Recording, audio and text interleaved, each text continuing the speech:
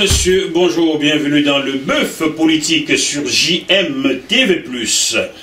Nous sommes le 17 février 2023. Voici un mois que l'actualité camerounaise est ponctuée par l'enlèvement suivi de l'assassinat de mon confrère Martinez Zogo. La justice s'est saisie de l'affaire, comme très souvent. Nous allons donc éviter d'entraver cette justice-là, mais nous ne pouvons nous empêcher de poser euh, quelques questions et pour y répondre, c'est un habitué de la maison qui essaiera de nous apporter des réponses à cette situation-là, mais à bien d'autres. Euh, Alain Bellaté est donc notre invité du jour. Bonjour Alain Bellaté. Bonjour Jacques Moifo, bonjour les téléspectateurs de GMTV+. Bonjour à... Vous avez perdu la voix Alain Bellaté Non, j'ai pas perdu la voix. Ah, j'ai peur. J'ai pas perdu la voix, j'ai la même voix. Je, voilà, seulement je suis un peu... c'est un peu affecté par le départ de mon très cher petit frère Martinez. Mm. Donc avec lequel... Euh, je me voyais avec lui, euh, on va dire, 4 à 5 fois par semaine. Hmm. Donc euh, voilà, c'était quelqu'un de très bien. Il ne faut pas écouter la voix à la radio, non. Non, non, non. C'était quelqu'un d'autre dans la vie. Martinez était prêt à tout pour, euh, pour les autres. On va y revenir à Bellaté. Celui qui va aujourd'hui m'aider à vous cuisiner sur ce plateau est quelqu'un que vous connaissez également. Il est auteur d'un livre que vous avez sans doute lu, ou que vous allez lire, c'est le panafricaniste, l'activiste, le camite, Bertie le camite. Comment ça va Bertie? Très bien. Vous bien habillé en Nigeria aujourd'hui, hein Ça va? Je me porte bien, voilà, ça, va. On suit l'actualité euh, du Cameroun, comme les autres. Alors, Bertie le camite, passez-moi votre livre, il faut que je le présente une fois de plus. On l'avait déjà vu sur GMTV+, on l'a vu sur d'autres plateaux, voilà. Bertie Locamit, auteur de ce livre dont le titre est Folie et calvaire des migrants. Voilà, qui retrace le parcours d'un migrant. On peut le dire votre propre parcours. Hein oui, et celui de mes camarades, évidemment, parce que pas... Effectivement, dans ce livre, où est-ce qu'on peut le trouver? Euh, Je le vends moi-même. Je suis euh, disponible sur euh, Bertie Locamit sur les réseaux sociaux. Également, on peut le trouver sur Amazon. Très bien. Donc, dans toutes les zones, Amazon, à sa zone, vous pouvez trouver ces livres que je vous recommande fortement. Voilà. Très bien écrit. Alors, Alain Bellaté, je vais d'entrée taper dans le mille directement en vous donnant le titre de cette émission, qui est en même temps une question. Le Cameroun serait-il dirigé par des bandes armées de gangs? Non, non, le Cameroun est dirigé par un chef d'État qui est peut-être pas très présent dans les médias, mais il est dirigé euh, j'aime à le dire, j'aime à le, vous le répéter, le Cameroun c'est un très beau pays. Très bien, où il fait bon vivre. Mais seulement, il ne faut pas prendre des, cas isolés pour en faire euh, le cas de la société. quoi. Moi je, je dis non. On a quelques brebis galeuses qui sont à des situations incontournables, ça je suis d'accord avec vous, mais Bon, le Cameroun reste. Le Cameroun, c'est un très beau pays. Moi, j'y suis régulier. Et je ne pense pas qu'on est dirigé par des, par des bandes. C'est un très beau pays où vous buvez de l'eau potable. Allez-y, buvez un coup. Buvez un coup. Oui, moi, ben, moi aussi, je bois de la bonne eau. Hein. Buvez je, un je bois de la bonne eau chez moi. Hein? Au Cameroun, on peut boire de l'eau potable. C'est un très beau pays. Je bois de la bonne eau chez moi bonjour, Bonjour à Samuel Mott qui estime que le Cameroun va très bien. Je bois de la bonne eau chez moi et j'en donne autour de moi. Tous mes voisins euh, prennent à ma source parce que j'ai un forage. Ah, vous avez un forage Ah oui, j'ai un forage. On va pas de chance. Oh, non, oh, non, il faut qu'on soit clair. Que font ceux de On ne va pas. Non, attendez, attendez, attendez, attendez. attendez. Moi, je vais être clair avec vous. Euh, faut pas qu'on se perde. Le Cameroun, qui dirige le, le Cameroun est un très beau pays, hmm. dirigé, même s'il est très absent dans les médias, il est dirigé. Ne prenez pas les cas de brebis galeuses. Je dis bien, moi je suis de ceux qui ne... Moi je, n'ai pas froid aux yeux. Hein. Je ne suis pas de ceux qui vont dire je n'ai peur de personne et panique. Non, je dis bien je n'ai pas froid aux yeux. Je dis ce que je pense, hmm. je dis ce que j'ai sous le cœur. Hmm. J'attends toute réaction et je réagirai aussi. Ça, je n'ai peur de personne là-dessus. Alors, ma question était, est-ce que le Cameroun ne serait dirigé par des bandes armées de gangs? Non, monsieur, non, non, Non. non, non, monsieur Moifo. Bon, j'entends ici et là des clans, des ceci, mais partout il y a des clans. Partout il y a des clans. Même ici en France, il y a des clans. en France, of course. Donc, of course. donc faut pas croire, faut pas que les gens croient que c'est, on a inventé à couper le beurre chez nous. Non, non. Il faut, Seulement, il faut déjà le fabriquer avant de seulement, seulement, est-ce que les clans de chez nous œuvrent pour que la société trouve son compte? Mhm. Je dis non. Bien, vous aimez le Cameroun, n'est-ce pas? Oui. Je connais un autre qui adore le Cameroun comme vous et qui l'a montré un jour, il y a de cela quelques années. C'était en 1998, lors de la Coupe du Monde Cameroun-Autriche. Ça vous parle? Je vous suis. Il marqua l'unique but ce jour-là du Cameroun contre l'Autriche. Pierre Jean Kabeyaka qui m'a envoyé ce t-shirt chez les téléspectateurs. N6. Et- Jean Cassis, voilà, je rends hommage. C'est le premier footballeur camerounais à m'offrir un t-shirt alors qu'on ne s'est jamais rencontré. Même celui qui a le meilleur palmarès africain de football, sur qui j'ai tourné tout un documentaire, ne m'a jamais offert un t-shirt. Donc merci à toi, Pierre-Jean Kabiaka, qui aime le Cameroun comme Alain Bélaté. Bertil Okamid, vous aussi, vous aimez le Cameroun. Mais voici euh, plus d'un an, vous attendez qu'on renouvelle votre passeport et ça ne sort toujours pas. Justement, c'est justement parce que je tiens euh, à ce pays. J'adore mon dolé vert. Oui. Le dolé vert, comme nous l'appelons euh, affectueusement. Mhm. Euh, J'aime ce pays également, c'est pour ça que je suis, euh, je suis engagé en vue d'un changement. Donc oui, je pense que j'aime. et d'ailleurs, j'ai discuté avec des gens qui, la dernière fois, qui sont entre guillemets considérés comme ce qu'on appelle les sardinats, qui me disaient, monsieur, Vous êtes responsable On de vos propos. Hein. je suis responsable de mes propos Voilà. évidemment. C'est parce que j'aime aussi, j'aime j'aime la sardine, mais la vraie. Quoi. et qui me disait, nous voyons ce que vous faites, nous ne sommes pas idiots, nous savons que vous aimez beaucoup le Cameroun. Et cette personne avait raison. Je suis, je suis votre regard. Je suis sûr que cette personne est logée au sommet, sommet, sommet de- de- des Camerounais de France. Je Tout à je- fait. Car euh, j'ai entendu ce même mot de la même personne. Vous suivez notre regard Bon, Bertil Okamit, pour Alain Bellaté, le Cameroun est un très beau pays, bien dirigé. Vous êtes d'accord avec cela? Je pense plutôt que Biya, euh, M. Biya règne, il ne dirige pas euh, en tant que tel, d'après l'opinion. Bon anniversaire, monsieur le Président. 90 ans et 40 ans au pouvoir. 90 ans, il faut surtout né vert. Parce qu'à l'époque, les âges n'étaient pas. euh, né vert, donc euh, on ne sait pas, peut-être c'est beaucoup plus certainement. Mais bon, ce que nous souhaitons, c'est. Personnellement, je, parle à mon propre nom, ce que nous souhaitons, c'est le départ, n'est-ce pas, de, ce régime et l'installation, voilà, d'un nouveau gouvernement et puis euh, qu'on fasse avancer le pays. Surtout, comme il le disait lui-même, Alain euh, Bellaté, est-ce que ce- ce- ce- ces, gens qui sont en place veulent que le peuple trouve son compte. Justement, c'est ça le problème. Il y a des clans partout, hein, comme en France, comme ailleurs. Mais la seule différence, c'est que ces gens-là travaillent pour l'amélioration des conditions de vie des populations, ce qui n'est pas malheureusement le cas au Cameroun. Bien qu'ils pensent que le Cameroun est un très beau pays, bien dirigé, bon, c'est son opinion. Non, euh, Sikadi, euh, monsieur Sikadi, pensez-vous que le Cameroun, je dis, je dis ce que je pense, je dis ce que je vis. Ne prenez pas des cas de brebis galeuses, certainement situés à des bons postes qui détruisent les vies des autres. Parce que, vous me permettrez, quand vous posez le problème de passeport, je dis, pour moi, le délégué général actuel, il a eu à faire des efforts.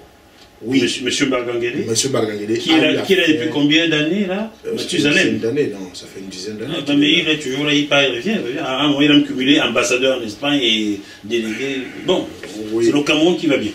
Donc, euh, parlant de ce problème, de ça et des cas d'anté, moi, sa communication, de fois, j'ai envie de rire. J'ai envie de mourir. de- Je dis, je me demande, mais est-ce qu'ils se rendent même compte de l'atrocité de la réaction qu'ils ont Pendant que les autres parlent de jouer sur leur vie, ils vous donnent des raisons aussi minables que, euh, en fait, c'est c'est 200 000 personnes qui bloquent 20 millions de personnes. Hum. Et je dis, mais attendez, je suis délégué général. C'est un ordinateur. C'est 200 000 de personnes qui bloquent 20 millions de Il dit- personnes. il dit- Qu'est-ce que ça veut non, dire en fait, dans sa communication, il dit que c'est des personnes qui ont le problème de double identité qui empêchent qu'on produise les d'identité des autres. Hmm. Dans un pays où tous, la majorité, ceux qui dirigent, à 80% ont la double nationalité, hein, sont français, il y a même un américain parmi eux. Donc, Mm. euh, face à cela, souvent, je suis modéré. Parce que M. Deguet, je devrais dire aux gens clairement que, en fait, quand vous me donnez vos 2800 Hmm. pour la carte d'identité, cet argent ne va pas dans les caisses. On a déjà traité ce sujet ici. Non, c'est important. Parce que récemment, il a encore tiré un, un communiqué le 7 février. Quand vous donnez vos 2800 à l'officier de police, de, de- de police, l'officier de police ou le commissaire qui gère le poste d'enregistrement, de- d'enrôlement de, de, carte d'identité, Mhm. cet argent ne part pas dans les trésors publics, ça va à la, SC à la SCB. C'est sur un compte, oui, SCB. C'est sur un compte. Donc, sur ce Le plateau compte de qui? De la DGSN, De la DGSN gérée par qui? Pas un divisionnaire, ils sont, non, ils sont deux, deux personnes qui De deux personnes qui gèrent. Je- J'ai même le document, c'est que j'ai oublié. Il me faut des noms. Euh, Monsieur Moifo, Oui. laissez-moi, je ne vais pas perdre le fil. Oui.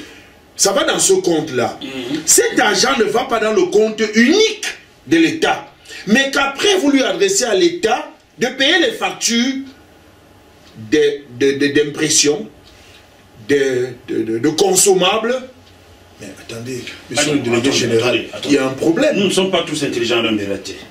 Oui. Chers téléspectateurs, au La- Cameroun, pour se faire octroyer une carte nationale d'identité, il faut payer des frais de timbre. On appelle ça comme ça Oui. Qui s'élève à 2800. 2800, c'est dans la loi des finances. 2800 euros. Ça veut dire qu'en CFA. en, en francs CFA, en 2000 2800. Environ francs 5 CFA. euros. Environ 5 euros, on va dire. 4,38. Cet argent, vous dites à l'homme Bélaté, qui ne va pas dans les caisses du Trésor public, il va dans les caisses gérées par la direction de la sécurité Délégation, Délégation. générale à la sûreté nationale. nationale.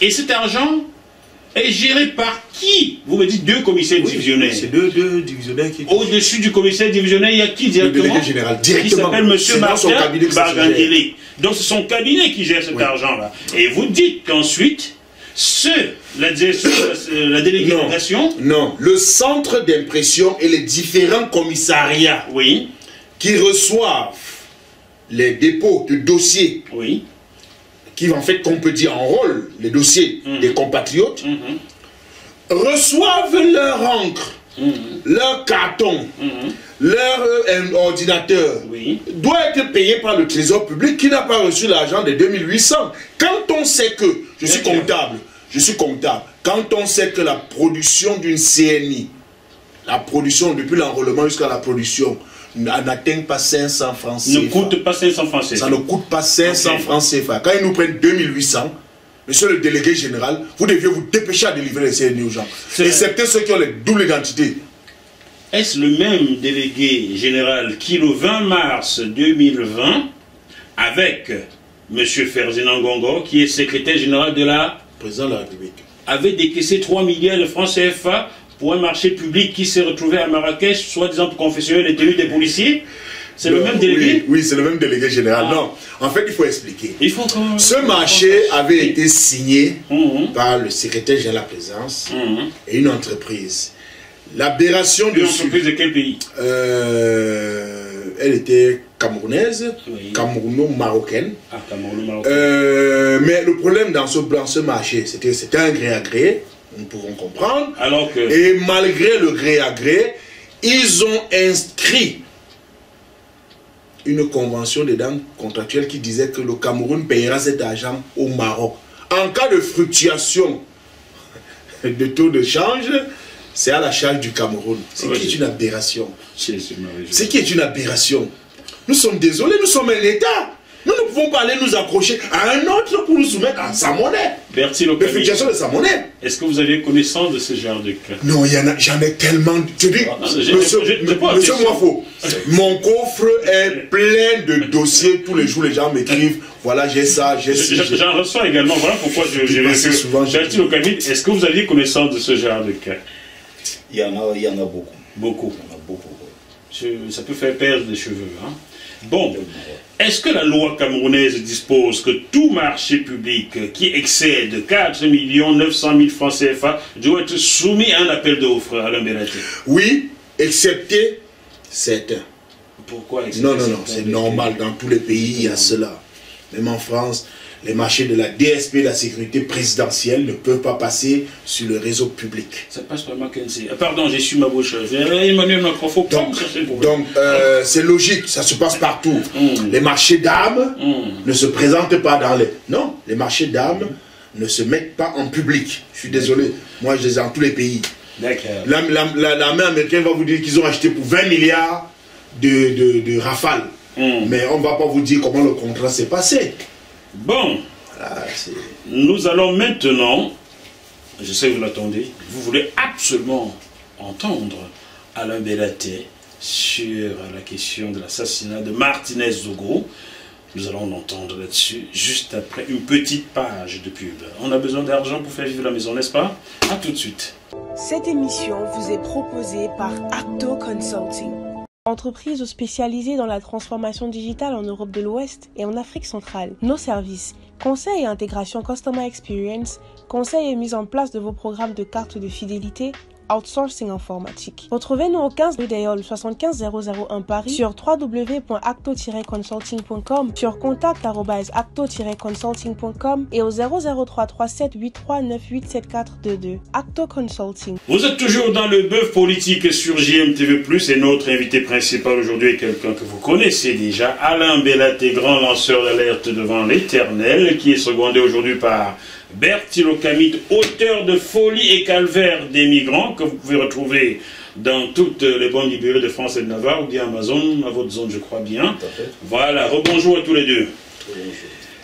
Alain Bellaté, comment comprendre que dans un pays, qu'un individu, fut-il homme lord, est accusé dans l'assassinat de votre frère, Martinez Zogo, et qu'il... Euh, vous faisait interpeller, il faisait interpeller des gens, ces hommes-là la faisaient interpeller qui voulait au Cameroun et le faisait coffrer comme il entendait.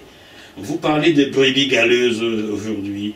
Est-ce que M. Jean-Pierre Amougobelinga, qui est fortement accusé dans cette affaire, même s'il est encore présumé innocent, présomption d'innocence n'exclut pas la présomption de culpabilité. Comment expliquer que ce monsieur avait tant de pouvoir au Cameroun, au point de pouvoir faire interpeller qui il voulait, quand il voulait, et il faisait couvrir Monsieur Monfort, nous sommes un pays particulier.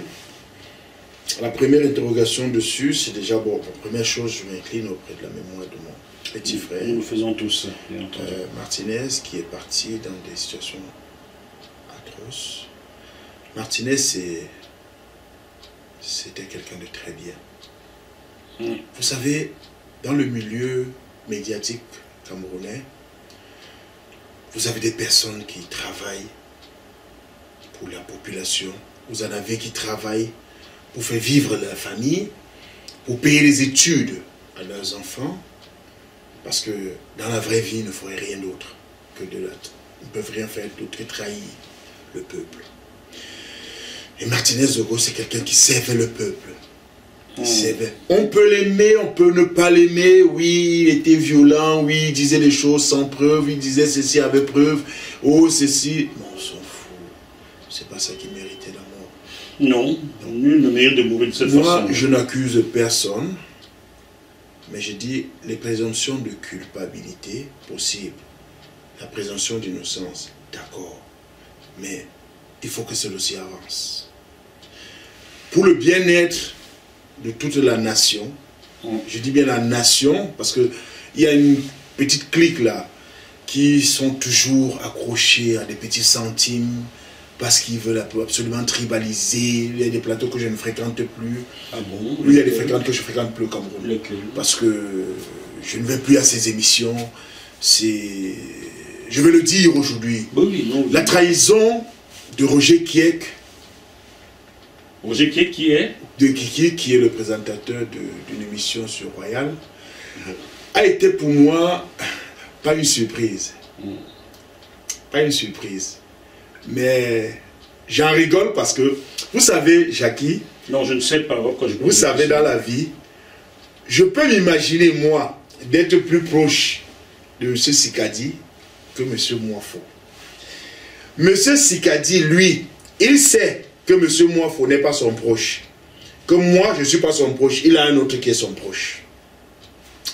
Quand j'irai lui dire des choses, il dira à son proche, qui redira à un autre, qui reviendra chez M. Moifo. Donc, la trahison que j'ai faite face à M. Moifo, il a, il l'aura.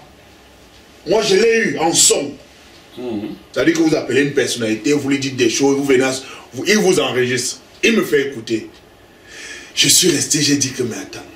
Alors. Au juste, où on va, où on va? Je veux Et je dis, monsieur Moifo, je dis à ces journalistes qui décident de prendre de l'argent aujourd'hui pour chercher à mener le rôle, pour faire le rôle de la justice ou le rôle de tribaliser la mort de Martinez Zogo, je vous le dis, beaucoup d'entre vous ne verront pas 2024. À défaut, vous aurez des, vous aurez des déceptions pires dans vos familles. Sauf qu'il n'a pas répondu à ma question, mais il a reformulé. Alors, le cas Martinez Zogo, ou le cas euh, Ma question était celle-ci. Comment expliquer qu'un monsieur fut-il homme et tant de pouvoir au Cameroun au point de faire interpeller qu'il veut emprisonner, assassiner Monsieur Moifo. Comment expliquer cela? Je veux vous répondre. Je venais dessus. Le cas Martinez Zogo face à Zomlor, ou le cas Zomlor face à la justice, ne vous posez pas trop de questions. Nous sommes, je vous le dis, nous sommes dans un pays où quand l'institution qui vote les lois ne les respecte pas, ne reprochez rien à un magistrat, oh, ne reprochez rien à un inspecteur des impôts, ne reprochez rien à un policier. Calmez-vous, ce n'est pas une question de muscle, on va y arriver. Oui, L'Assemblée nationale, un chapitre est prévu. Donc, je... sommes là ne faisait que ce que les Camerounais qui sont accros à je suis, je suis le protégé d'eux. Je marche après tel. Hum. Parce que moi-même, je vous l'ai dit, j'ai failli faire l'objet, le, j'ai failli faire les frais de cela. Donc, monsieur Amougou Belinga jouait de sa soi-disant sa proximité avec le ministre d'État. Le ministre d'État lequel? Le ministre d'État de la Justice. Monsieur, et arrivait, Laurent Esso, et arrivait à, à dicter des règles à certains magistrats. Je vais mettre parce que, parce que, parce que, non, c'était des imitations. On va, on, va, on va, arriver à écouter, merci. C'était des usurpations. Je peux le dire haut et fort, je, peux le personne. Chuté, Alain Bélaté, il imitait la voix de Major Assez. Chuté. Voilà. Donc, chuté, je la parole. Donc, donc, monsieur Moifo, je vais vous le dire. Moi, je veux dire, il y a eu un dossier. Moi, je l'ai suivi ce dossier. J'étais ici à Paris, à distance, de Madame Vogo. Son prénom, j'ai oublié. La, la, la, journal des impôts. Oui, journal des impôts du centre. Ouais. Connaissant l'homme, Mhm. Connaissant l'homme, les agissements de l'homme, il ne peut pas venir vous porter une plainte, juste une plainte. Vous prenez tout un gros fonctionnaire qui détient des... Attendez, le régional des impôts, on le sait, même ici, il a des accès informatiques très élevés mhm. sur le cadre national. Mhm. Si on va le braquer en prison, la manipuler là-bas, et elle fait ce qu'il faut faire pour détruire tout. Mais est-ce que, moi je dis pour moi, pour ma part, hein, c'est mon entendement personnel. Ma petite connaissance en comptabilité, ma toute petite comme ça là, le magistrat qui a foutu cette dame en prison doit être révoqué. Point à la ligne. On va arriver à ces magistrats-là. Bertie Locami. Point à la Laissez-moi finir. Point à la ligne. Pour la simple raison que il n'y avait aucune preuve. Je suis allé au Cameroun, je suis allé assister à quatre audiences de Madame Vogo face à Amougou Belinga et il n'apporte aucune preuve. Monsieur Belletti, prochainement Borné vous répondre à mes questions, parce que si vous tirez la fronde, nous ne sommes pas en train d'acheter le terrain ici, là, avec la fronde. Donc répondez à mes questions pour que je puisse poursuivre le débat, sinon on passera la journée ici. Bertil Okamit, je vais vous reposer la même question Bellati. Comment expliquer qu'un monsieur Jean-Pierre Mungobelinga fut-il homme et autant de pouvoir au Cameroun qui lui permettent d'indexer qui il veut, emprisonner qui il veut ou faire assassiner qui il veut? Comment vous l'expliquez? Euh, moi, je vais l'expliquer euh, très simplement. C'est un projet qui date de beaucoup d'années. Hein. Ce n'est pas une affaire d'aujourd'hui. C'est un projet alors? Oui, justement, c'est un projet de ceux qui sont au pouvoir. C'est-à-dire que, euh, si je parle de, par exemple, je parle de, Boulou, il faudra entendre par là Fambeti Boulou. Donc je parle du clan, en fait, qui est au pouvoir. il y a ce projet qui consiste, qui consiste euh, comment dire ça, à, à, fabriquer en quelque sorte un écran euh, et tout, comme ils ont sorti le truc d'écran la dernière fois, pour en quelque sorte concurrencer les opérateurs économiques d'Amérique. C'est pour ça que ça ressort à chaque fois. Quand on parle de, du cas du Zomlo, il y a des gens de ça. Vous savez comment moi je fonctionne, je dis les choses telles qu'elles sont. Là, je dis ce que je pense. Et ce que nous avons lu, ce que nous avons comme information, c'est cela qui nous revient à chaque fois. Il est question de fabriquer quelqu'un qui soit de l'air culturel Fambiti-Boulou pour mhm. concurrencer les opérateurs économiques bamileke. D'ailleurs, si vous suivez la plupart de ces gens-là qui interviennent sur la question, ils disent que Amougou Belinga n'est pas là-bas parce qu'il aurait posé ceci ou cela. J'ai écouté Junior Zobolo dire, hein, Junior Zobola dit, j'ai la vidéo. Il est là-bas tout simplement parce que euh, il y a le JICAM, il y a des hommes d'affaires bamileke qui sont tellement jaloux, qui sont oh, derrière oh, le coup. Il faut absolument casser Amougou Belinga qui est un riche homme d'affaires. Il, a, investi dans une industrie. Comme il y a à l'époque euh, euh, celui de la Citabag, là, qu'on appelait euh, James James Il y a des gens, ils ont été cassés parce qu'en fait, c'est encore un projet, n'est-ce pas, du Bamileke qui veut casser le reste. Donc, il y a derrière ce projet, dont l'État, évidemment, essaye de fabriquer des gens qui sortent de gauche à droite. Ce que je ne comprends pas jusqu'ici, c'est. C'est pas un membre du gouvernement, à ce que je sache. Non, jamais. Jamais il il n'est rien de tout ça mais qui intimide les ambassadeurs, qui intimide le secrétaire général sur le ça, on le sait, ce, sont, qui intimide. J'essaie de comprendre, Bertil Ocamine, c'est comment l'expliquer Monsieur, c'est justement, je pense que Monsieur Alain Bella était mieux placé pour nous l'expliquer, euh, justement. Puisqu'il est dans le Sérail, il connaît des informations au sein du Sérail. Je ne sais pas si le Sérail, je vous les responsables. Non, il, a certainement des informations au sein du Sérail. Moi, je tout simplement. Non, moi, je dis il faut faire une lecture simple de cela. Hmm. Très simple. Allons-y. Moi, c'est pas. Moi, je n'arrive pas à comprendre comment un cet homme pourrait. D'abord, la première question que je me suis posée quand je suis arrivé souvent, je vois passer. Moi, c'est la seule fois dans le monde. Je suis allé dans beaucoup de pays. J'ai joué en Suisse, j'ai joué en France. Je connais Vous ancien sportif volé. Beaucoup euh, de pays où j'ai côtoyé certains dirigeants de clubs milliardaires, le patron de Alcatel dans son temps. Aujourd'hui, France Télécom, euh, la grosse boîte. Je sais pas qui vous regarde. Sans publicité, hein. sans publicité. Lui, par exemple, moi, je ne l'ai jamais vu avec un garde du corps. Le patron de la SNCF, quand j'ai commencé à travailler à la SNCF, moi, je n'ai pas vu, avait des gardes du corps, alors qu'il a encore armé au sein de la SNCF. Mais moi, je ne sais pas, je ne sais pas d'où vient cette aberration de, de démontrer une puissance parce qu'on va avoir 100 000, personnes qui roulent autour de soi, qui frappent sur les voitures des autres, parce que ça, c'est la particularité dans notre pays. Moi, j'ai vécu ça aussi, j'ai été victime. Et j'en pose la question même là aujourd'hui. Je sais qu'on a, vous avez échappé à un attentat à votre domicile là, Yaoundé. Ouais, mais bon, je, je vous ai dit la dernière fois, moi, des amuseurs publics qui viennent se balader chez moi, ils n'arriveront jamais à rien. Bon. Parce que Dieu me protège et je n'ai pas besoin des gardes du corps et tout ça. Chers téléspectateurs, nous n'allons pas beaucoup nous étendre sur l'affaire Mugublinga, Martinez, Ogokar, cette affaire entre les mains de la justice, n'est-ce pas? Oui, et nous, allons avoir, la nous allons avoir la décence d'attendre, mais de suivre. Oui, on suit, on suit. Même de loin.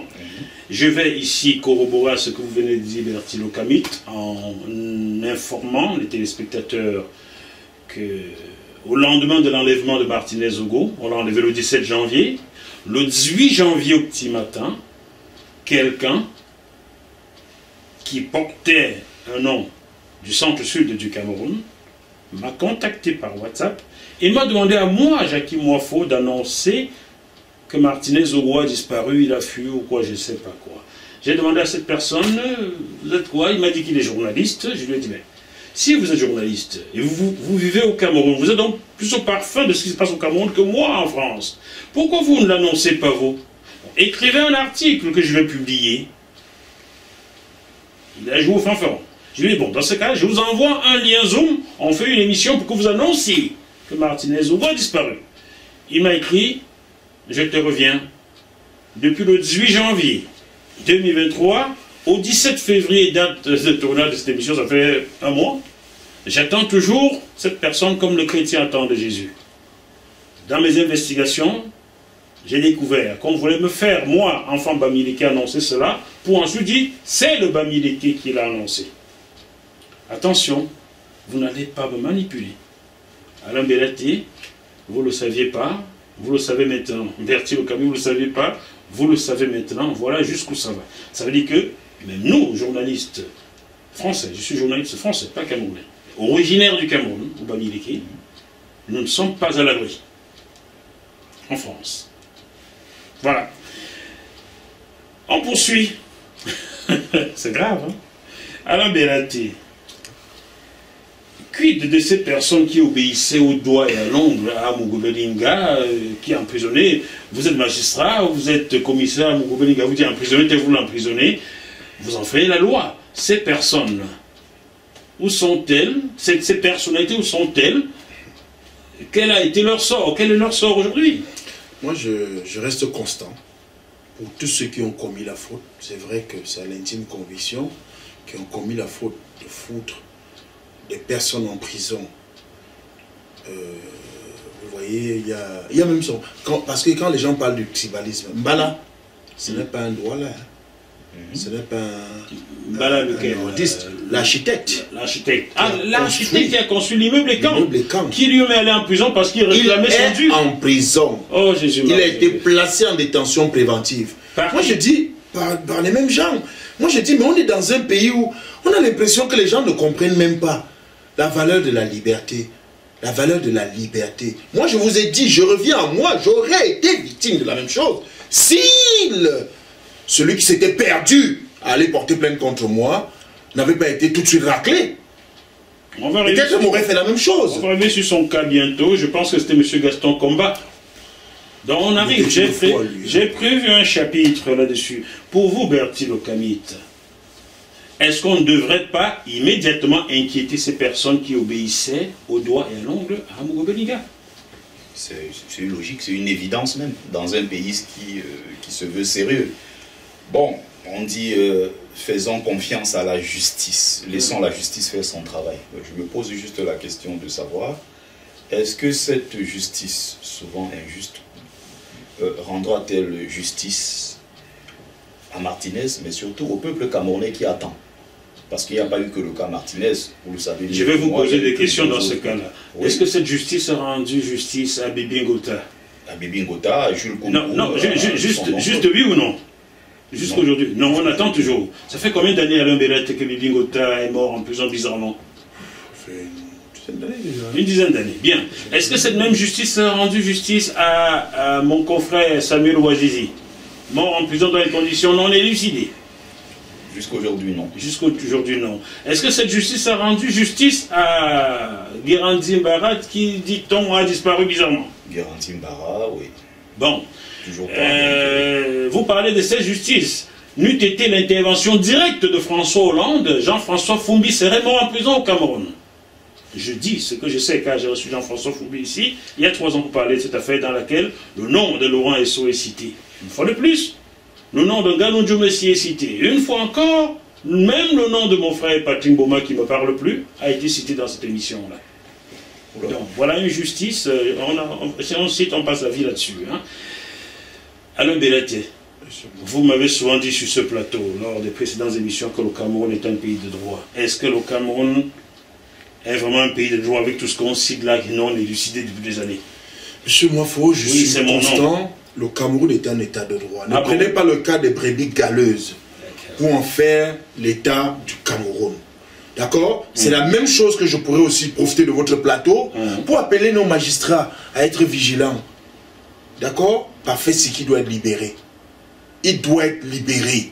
Il n'a rien à faire en prison. Le journaliste Parfait Siki. D'accord? Il a été foutu en prison par Dadis le- le pasteur de Tinga. Il faut libérer Siki. Attention, attention, attention, attention, Voilà. attention, attention. Dadis Camara, j'en connais un en Guinée-Conakry, pas au En fait, il y a Cameroun. un qui a un surnom de cela chez nous déjà. Et vous parlez du pasteur de Tinga, appelez le chien par son nom.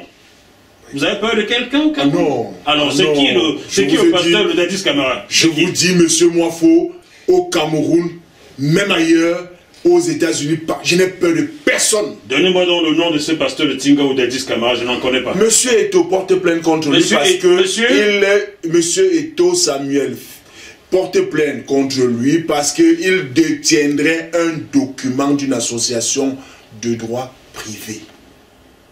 Et cette association, c'est la, Fédération camerounaise de football Oui, de droit privé on se demande que le document là c'est quoi? C'est une atteinte à la sécurité de l'État pour foutre tout un journaliste qui a ses enfants, qui a tout... Mais on ne comprend pas ce pays. Bon, on va dire les choses. Samuel et toi, mon petit frère de Mvokada, nous naquîmes ensemble, nous avons joué le même ballon, nous sommes allés dans la même école, même si on est cultionné à tu vois, nous connaissons la vérité.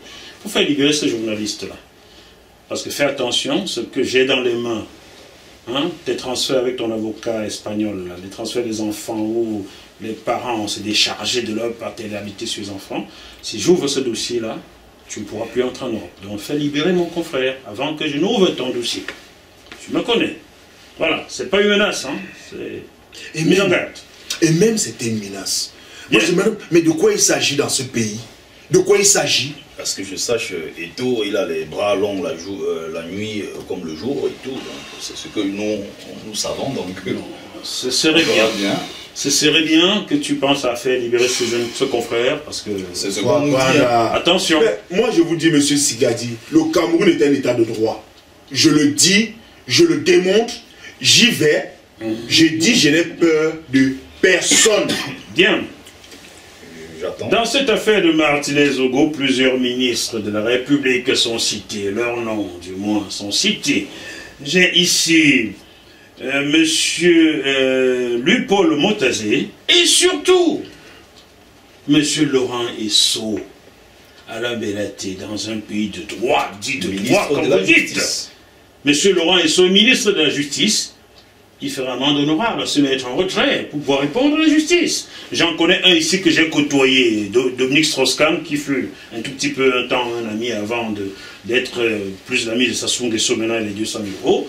Quand il fut accusé en 1999, il s'est mis à la retraite pour se mettre à disposition de la justice. Qu'attend Laurent Esso et Paul Motazé pour se mettre en retrait et répondre à la justice du Cameroun, pays de droit, selon vous? C'est réservé au chef de l'État. C'est réservé au chef de l'État. Non, mais attendez, monsieur Moifo, ici, là, le ministre euh, euh, Dupont-Moretti a été accusé. Nous parlons du Cameroun. Oui, mais moi, je parlera de, de, de oui, Moretti, j'ai des choses à dire. Ce quoi je vous dis, pour moi, euh, le Cameroun fonctionne. La France n'est pas un exemple, hein, que je vous, il faut ah dire. savoir. La voilà, France est très loin d'être un exemple. Voilà. Car Là, on est la France et le Cameroun font partie des pays qui ratifient les conventions dans le monde entier. Et ne les appliquent pas. Les appliquent jamais. À fait. donc, voilà, donc revenons sur le cas Laurent Esso et bah, le Motazé. Pour le moment, il est, euh, ils sont, ils sont par les médias et des réseaux sociaux indexés par les réseaux sociaux. Moi, je n'ai pas lu l'audition, je n'ai pas, je ne peux pas dire qu'ils sont indexés. C'est dans les réseaux sociaux que j'ai appris qu'ils sont indexés. Donc, pour moi. Il faut rappeler que euh, Reporters sans frontières. Reporters sans frontières, c'est pas un réseau social. A fait des articles quand même où euh, ces gens sont cités énormément. Oui. Et ce n'est pas, de la, pas une blague. Oui. Oui. Et pourquoi d'ailleurs ça devrait dépendre de Paul Biya alors qu'il y a au Cameroun ce qu'on appelle la séparation des pouvoirs? Bah, Il faut que le remaniement se fasse. Tenez, Alain Belletti, lisez ce nom à haute voix qu'on vous entende. Arnaud Froger. Il est quoi? Il est RSF. Bon, très bien.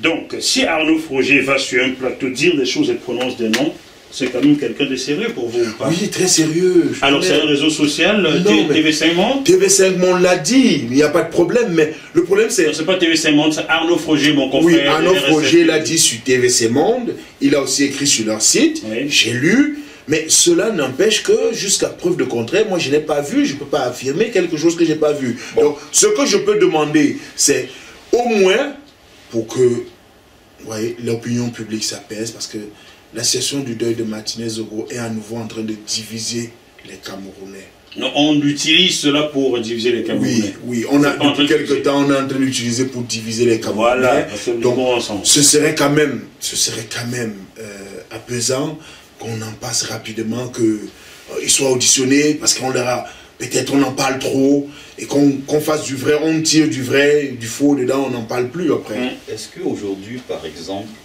le, on libère si vous on apprend demain, par exemple, que Amourou Belinga et les autres ont été libérés dans le cadre de, cette affaire, ça ne risquerait pas au, Cameroun de faire descendre peut-être les gens dans les rues, vu que euh, le peuple attend tellement de cette... Parce que les gens se sont tellement... Euh, ils ont tellement attendu que ces gens-là, et particulièrement Amourou Belinga, qui est d'ailleurs très très méprisant, euh, on attend, vous l'avez jamais rencontré que je sache. On attend, on attend.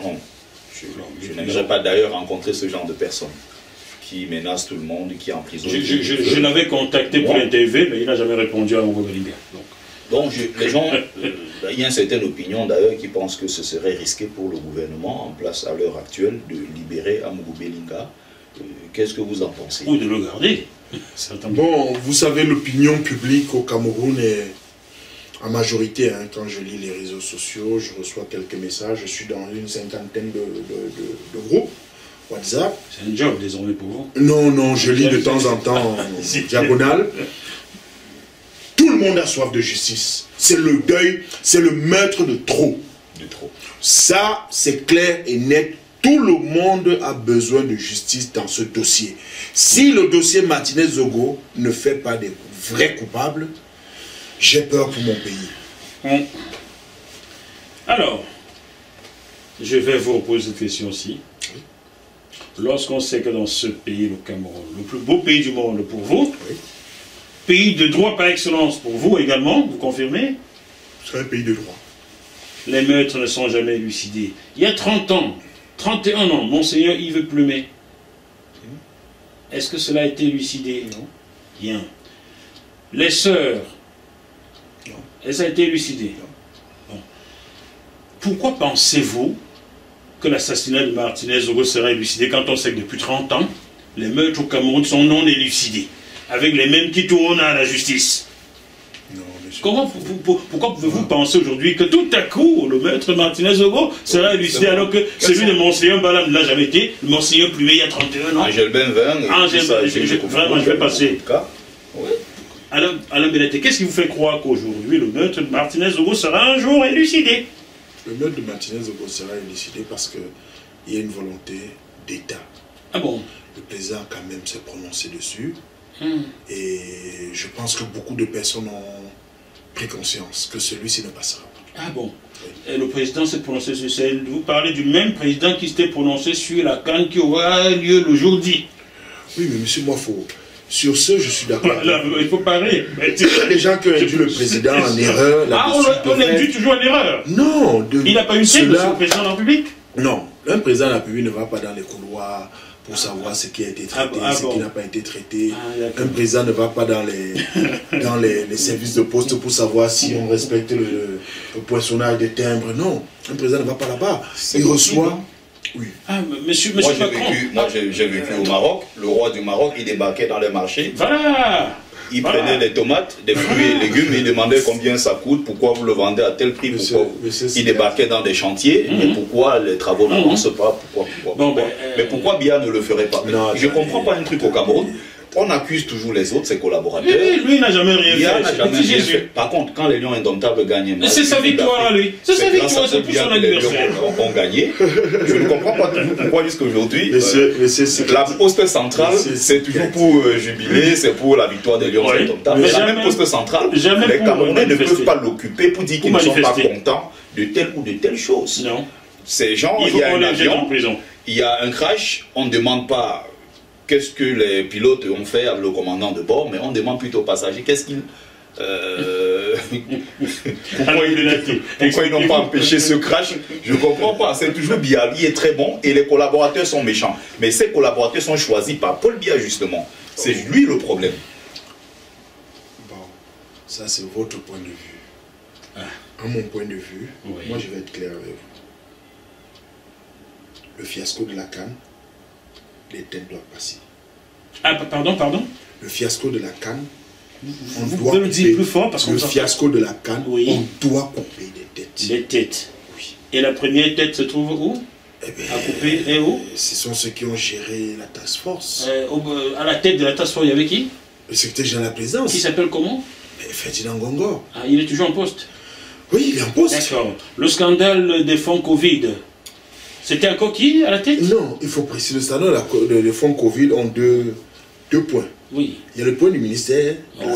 Oui. Manaouda Manachi, c'est lui Oui. Qui ne répond jamais à mes textos. Il ne veut pas répondre à mes questions.